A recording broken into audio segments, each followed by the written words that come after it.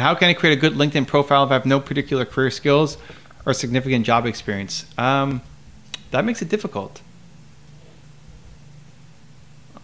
I think if you don't have any if you don't have any skills to share, you you need to show your passion for what you want to get into. But I know you're still trying to kind of figure that out.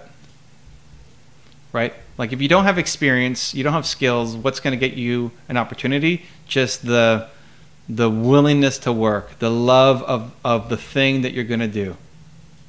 You know, I, have invested into people and hired people um, who, you know, on paper just it makes no sense. But there was just the passion, the energy, the the, the love that they had. Like I want to get this person a shot.